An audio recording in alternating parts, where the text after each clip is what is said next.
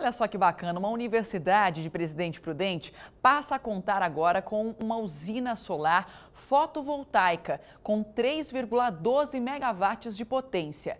É a maior do estado e uma das maiores do Brasil no alto consumo. A Maristela Coimbra conta pra gente quais são os benefícios.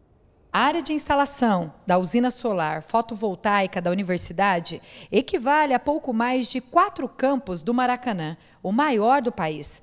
As placas são suficientes para abastecer, por exemplo, 2.500 residências. Um investimento de 12 milhões de reais que será restituído em pouco tempo pelo da própria energia. Uma economia média mensal de 80%.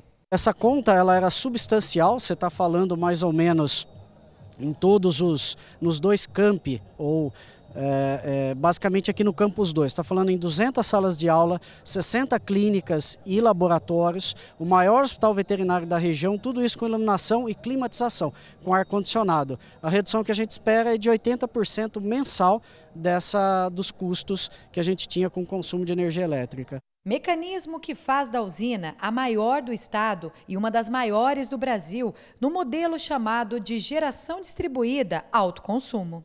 A energia solar já é uma realidade no Brasil. O custo-benefício está cada vez melhor, né? ou seja, o custo dos equipamentos estão reduzindo e a energia não para de subir. Então, essa conversão de fatores faz com que o payback, né? o retorno do investimento, esteja cada vez menor. Então, hoje, estimativa aqui para o campus é que em torno de 5 a 6 anos esse investimento seja pago e a usina vai funcionar por 25, 30 anos. A energia solar fotovoltaica é a energia obtida por meio da conversão direta da luz do sol em eletricidade.